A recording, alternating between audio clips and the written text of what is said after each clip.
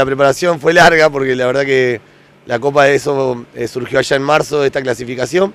y bueno, ya estuvimos esperando este torneo con, con mucha ansiedad y muchas ganas porque desde esa época era como el torneo más importante que, teníamos para competir y bueno, eh, ya, ya nos tocó arrancarlo, por suerte arrancamos bien ganando el, otro día,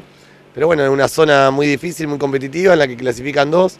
y bueno, el principal objetivo obviamente es eh, clasificar y, después ir viendo en, función de los cruces eh, para qué estamos y, hasta, hasta dónde nos da, digamos. Yo creo que es un, como un premio para todos los equipos de liga, porque antes era, como vos decías, el Federal C y ese Federal C te clasificaba al B,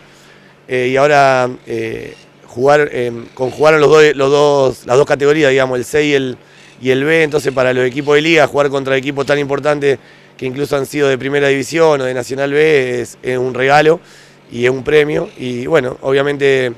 es un, torneo recontra mil competitivo de todo el país, pero por suerte se, organiza por zonas, entonces siempre iniciamos con las zonas más cercanas de, nuestra ciudad y, bueno, eh, como vos bien decís, un torneo muy competitivo que tiene jugadores o jugadores profesionales, así que nada, para los chicos es, un premio, yo digo que, se lo ganaron y que lo están disfrutando. El objetivo, me imagino, en esta primera instancia eh, con rivales conocidos de la Liga Santafesina, será poder clasificar a lo que viene. Sí, eh, el objetivo con,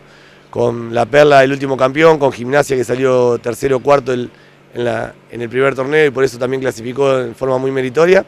Y,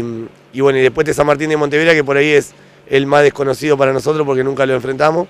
Pero bueno, de esos cuatro salen dos, nosotros arrancamos ganando, ahora nos toca jugar de local con la Perla, que, que, bueno, es el último campeón y a quien respetamos un montón. Eh, con el, con el flaco Tobaldo, que, obviamente es una eminencia para, la liga, así que nada, afrontarlo con toda la humildad y, con la posibilidad de, de local hacernos fuerte y ojalá que podamos ganar.